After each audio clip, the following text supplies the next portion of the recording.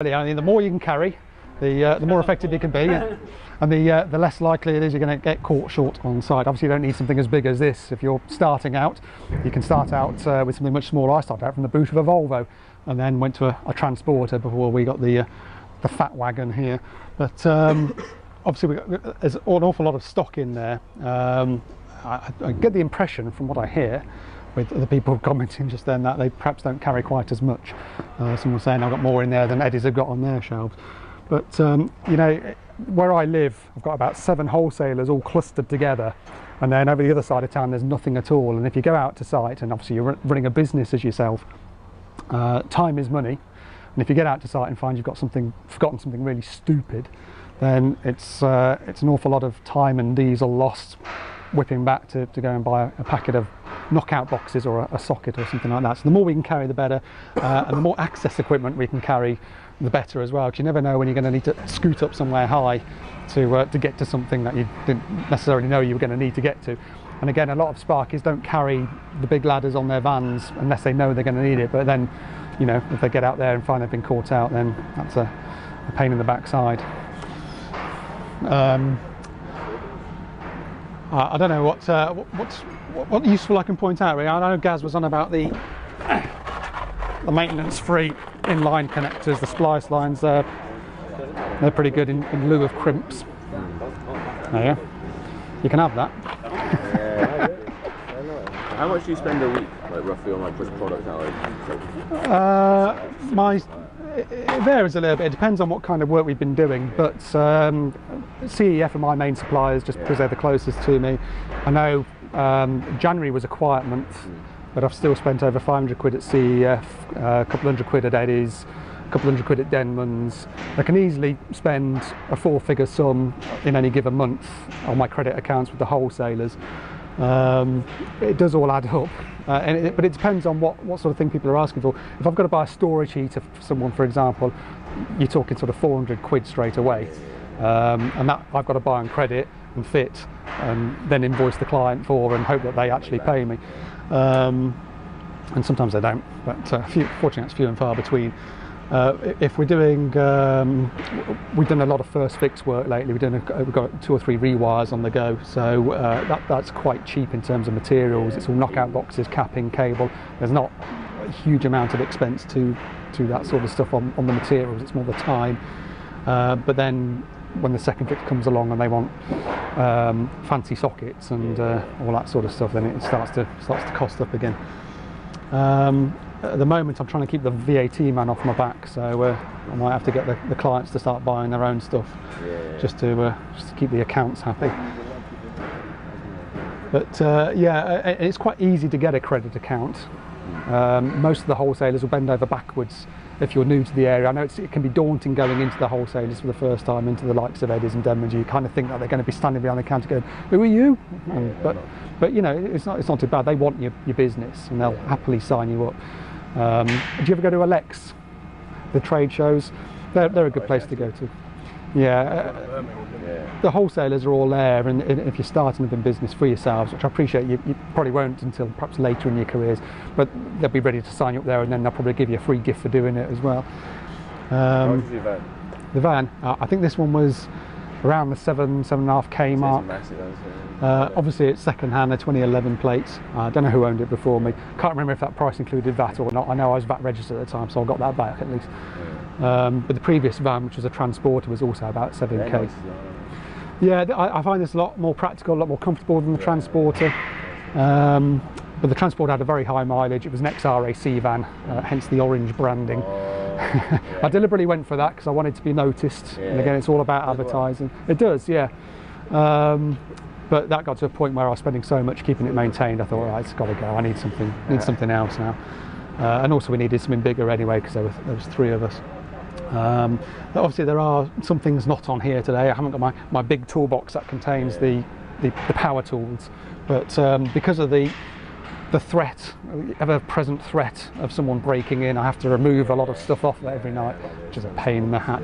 So some people will say, well, how come you haven't got deadlocks on it or whatever? If someone's going to break into your van, they're going to break in. They're just going to do more damage, in my opinion, if you start fitting it out with fancy locks.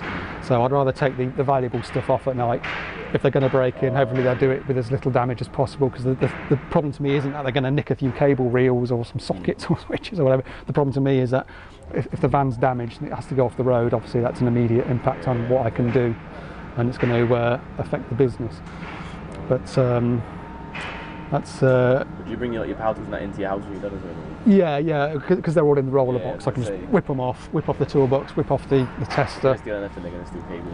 Yeah, obviously, you know, there's still hundreds of pounds worth of stuff on there in terms of cable reels, sockets, switches, patresses.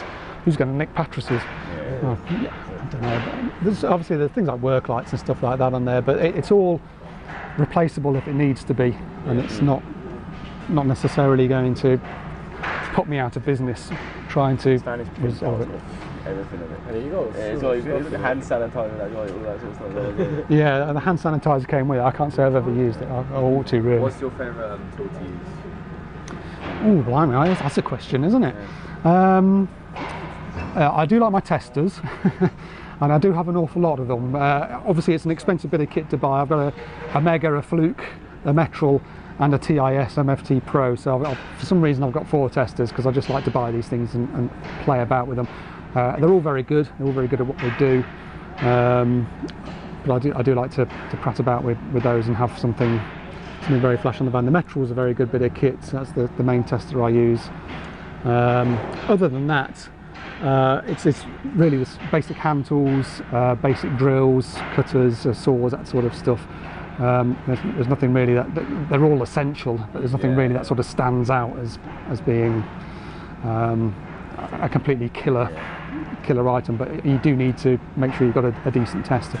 Uh, and some people are, are very sort of Megger versus fluke, but there's a whole range of different ones out there. Di-Log, Ethos, no experience of those, but they all do the same sort of job. They all have their proponents, they all have their positives and negatives, and it's just a case of yeah, if, if you can get up close and personal with them at a trade show, if you're thinking of investing in them, then then great, do so. You might find something that you like over over others.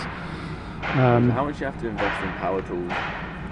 uh, Tools like that, SDS? Yeah, that's a good question. They um, obviously there's different brands out there with different price points. When I started the business, I had about 14k to play with, but that doesn't mean I was flash with the cash. Half of that went on the van, and I had to spend an awful lot on other things like accreditation and advertising and just just getting the business running. So I invested in Ryobi stuff, which uh, a lot of people sort of do that face when you say that because it's, it's kind of known as DIY kit. Yeah. I find it very good uh, for its price points. Um, most people will have Makita, um, DeWalt, um, Milwaukee, that sort of gear, and uh, uh, that all comes in at a, a higher price point. It's all good stuff, but I don't see that it's necessarily any better than what I've got. I know my colleague Nigel, he's all Makita based, Yeah. but he's had as many burnt out drills in his life as as I have with my cheaper Ryobi kit, and I have the advantage of that no one's going to nick my batteries on site because no one else uses it. Whereas if you go to site with a load of Makitas, the plumber's got the same and the builder's got the same, and you know when when you're not looking, they're going to be swapping out their Duff batteries for your good ones. but um, but uh, it's essential to have a lot of good battery gear and to have some good five amp hour batteries or some powerful batteries. Uh, I have uh, up there, for example, a uh, 230 volt um, multi-tool. Never use it because I've got a battery one, and it's it's it, it, you, might look at the two and think, well, uh, same with drills and things like that. You might look at them and think, well, the corded one is so much cheaper. I, I, could- I could just go with that. If you've got a battery one, it's going to be so much better because you've got the portability, and half the time you're working with the power off anyway. Because you either it's you're investigating or trying to work around a fault where it's tripped off and you can't get the stuff on, or you're um, you're actively working on the wiring and you, you, you can't power it up. So it's it's it's good to have good battery gear, battery-based gear, um, but you don't necessarily have to spend out on the high-end stuff. Uh, you can get away with, with lesser brands, I find. yeah. So they, every people I work with, when I go whatever, always says to go with like higher brands and that, but you don't you, you, well, you don't want to go too far down the Yeah, scale. You don't want to be buying, um, you, know, something from Aldi or something Yeah, like that. yeah. But by the same token, you Or know, you, it, it, it's a case of finding a, a sort of sweet spot between price versus performance. Yeah, I mean, Ryobi has done all right with me. Um, I, I, I, like I say, I've, I've lost a saw and a, a drill over the years because I've, I've burnt them out. But so's Nige on his Makita stuff. So you know, I, I don't see it performing any less than than those sort of marks do. For its price, it worked out. Uh, also a fast battery charger if you're home battery based because when you buy a drill it will come with some uh, rubbish little slow charger that you know it takes six hours to charge a, a fast charger that again it's all cost but you need it on site to be able to charge your battery within an hour to, to keep going um, question. Did you, would you say uh, what you invested in, yeah? So what you've invested in to make your business and get it going, has you have you earned back? Would you say over the years of like? Oh yeah, yeah. uh, Um, because I, because it's a limited company, uh, and I invested my redundancy money in it. Effectively, uh, as far as the books go, it was treated as what they call a director's loan. Yeah. I was a director of the business, Yeah. and I effectively loaned that money to my company to get it going. And then over the years, that director's loan has been paid off, so that money's Oh. come back. Um, as a, a sort of a tax-free sum, Yeah. uh, an amount of money that was owed back to me. Yeah. So every time someone paid me um, in cash, if it was officially on the books, then that would be processed as I'd, I'd put it down. I'd receive that cash, Yeah. and I wouldn't put it in the business bank account. It would be it would be taken off the director's loan. Oh. And over the course of time, the director's loan got paid back. So I've, my investment in it has come Yeah. back. In the meantime, obviously, I've earned a living where I'm, I'm paying myself a wage.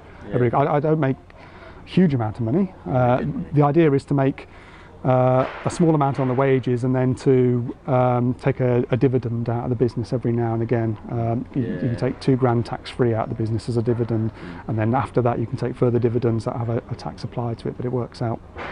You- quite it's pretty mad. They don't really tell you anything a lot about how business works when you start off your own business. Do you know what I mean? Like, sort of, say, oh, honestly, everyone says they want to start their own business, but you actually have to know quite a lot, don't you? Uh, well, uh, it, but it's funny because when I when I was a a whippersnapper like you chaps, I never saw myself as being in management or in business for myself or anything like that. I thought, "Oh, that's gonna-" I remember being uh, sent on some kind of management course when I was uh, um, working for the telecommunications company I used to work for, and I was thinking, well, back in the 90s as well, I thought, "It's- I'm never going to need this.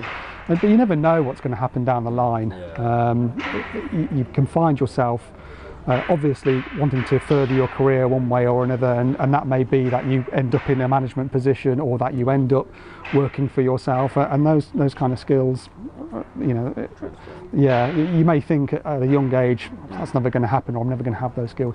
Obviously, uh, with with the when you're working comes confidence, comes familiarity with what you're doing, comes knowledge of, of what you're doing, and, and if you happen to be a good person, uh, a good manager of, of people, then then you may well be put into some kind of management position, or you may well end up going alone and taking on staff and finding yourself in that position. But um, whether you cope or not with it, you, you'll, you'll find out at the time. But never write it off as something that won't happen, like I did. I you think of that. It's um, you never know what the future holds. Yeah. Hopefully, all rays of sunshine for you chaps. I'm sure you're, with your expert teaching here and your your skills, you'll uh, you'll all. Uh, yeah, I'd say you'll all be doing some